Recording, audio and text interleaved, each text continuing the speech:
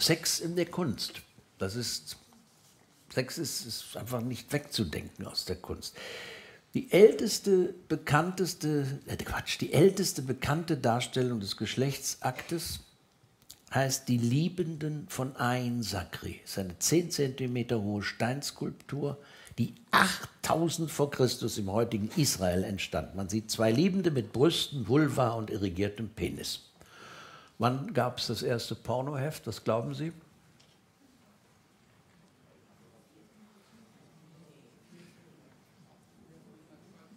Sie sind jetzt im Fernsehen, nicht? Das ist Ihnen, ist Ihnen klar.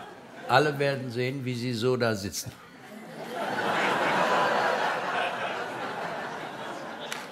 Und dann werden Ihre Verwandten denken, oh, Opa ist aber, das wird nichts mehr. Ich frage nochmal.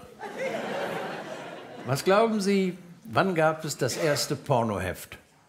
1900. Bitte? 1900. 1900?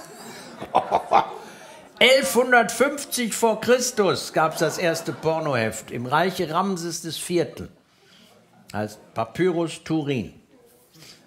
Was? Was war da? Nix. Okay. In jeder Sekunde des Tages gucken etwa 30.000 Menschen weltweit Pornofilme. Also praktisch ein Zweitligastadion voll. Hübsche Vorstellung, 30.000 Männer mit Tempotüchern. Ne? Ja, in Hamburg hätten sie mehr Freude gehabt. So. Ja, besser einer versteht es als keiner. Ne? Sitzen alle hinten. Die, die Hellen sitzen alle hinten.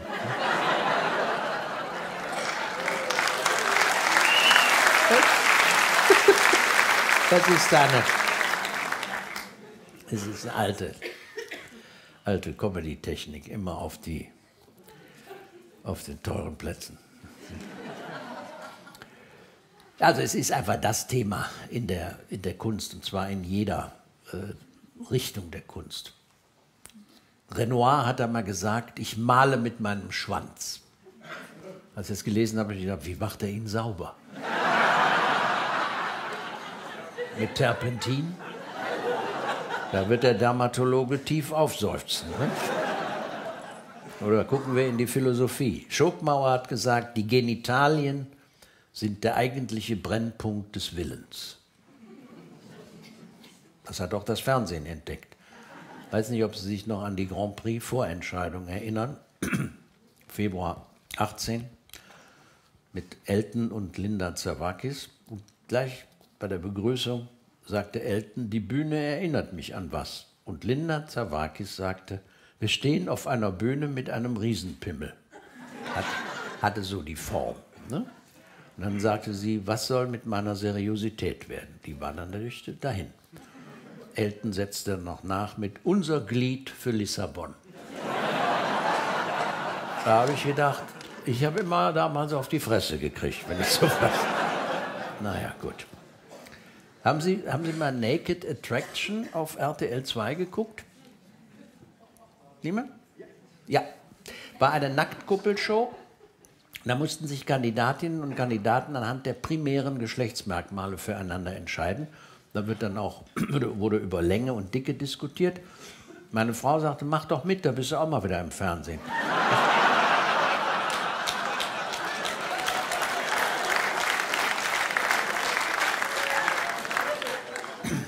Ich habe auch überlegt, aber habe es dann gelassen. Ich bin einfach mit meinem Körper nicht hundertprozentig zufrieden. Ich finde ihn punktuell suboptimal.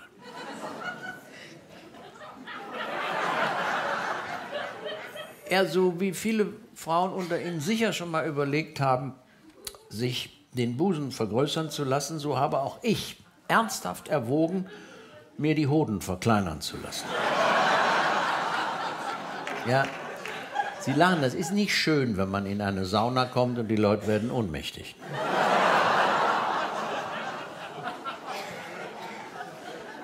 Oder im, im Urlaub am Strand, wenn da getuschelt wird. Guck mal, der Herr Lippe hat wieder nur Unsinn im Kopf. Hat sich zwei Apfelsinen in die Badehose gesteckt. Das sind keine Apfelsinen, das sind Honigmelonen.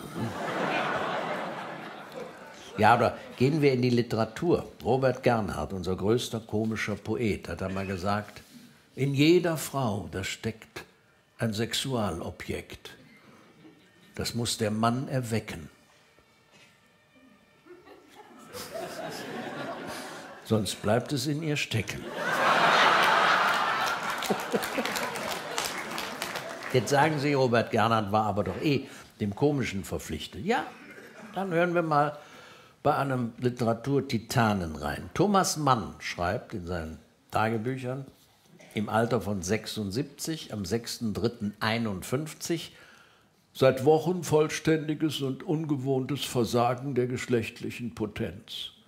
Da ich es ablehne, ohne Vollerektion zu masturbieren, scheint das Ende meines physischen sexuellen Lebens gekommen. Am 19.01. hatte es noch geheißen, heftiges Geschlechtsleben in letzter Zeit.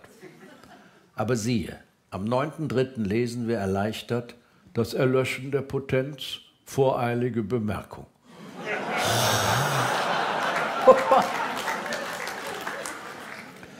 Martin Walser vertritt eine andere Ansicht und hat einmal gesagt, schön, wenn man beim Ficken zu zweit ist.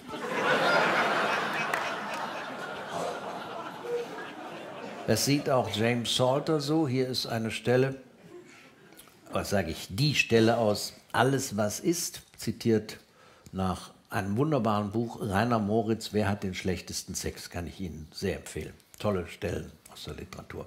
Also hier kommt James Salter. Sie liebten sich sehr einfach, sehr direkt.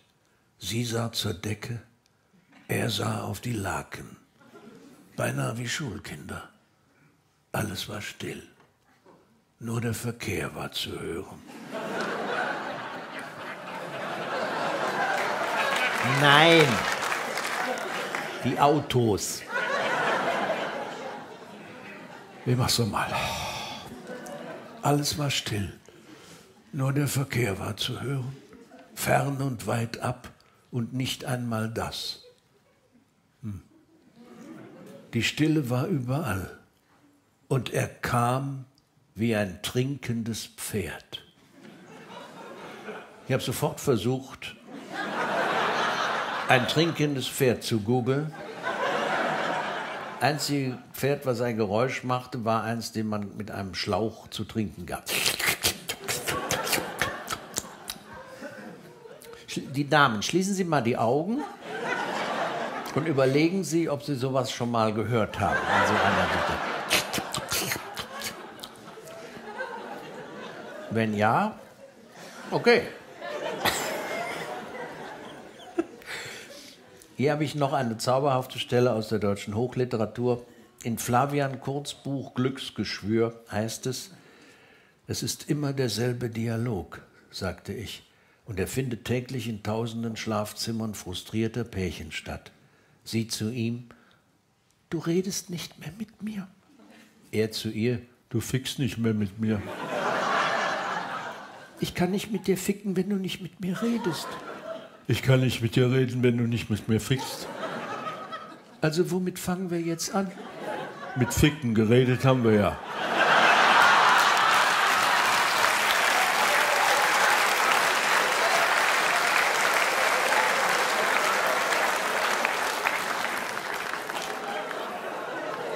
Also diese Einleitung hat Ihnen bis jetzt am besten gefallen.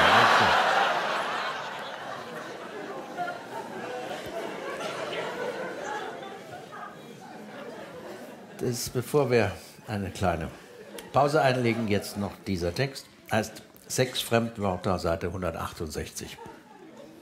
Ich habe gedacht, ich hätte von allem, was mit Sex zusammenhängt, zumindest schon mal gehört. Bis ich auf das Buch Wo lassen Nudisten ihr Wechselgeld?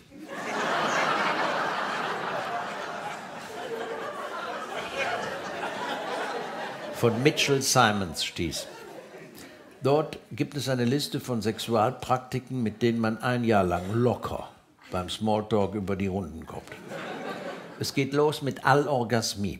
Diesen Begriff schmeißt man in die Runde und lässt raten, was es ist. Sicher sagt einer, das ist einer, den einfach alles erregt. Im Grunde wie bei mir. Dem erklärt man dann, dass der erste Teil all nicht vom Deutschen alles kommt, sondern von Griechisch allotrios, fremdartig, nicht zur Sache gehörend. Allorgasmien sind demnach Sexfantasien, die nicht den eigenen Partner betreffen. Jetzt wird der Kollege von vorhin sagen, Sexfantasien betreffen nie den eigenen Partner. Da ist was dran.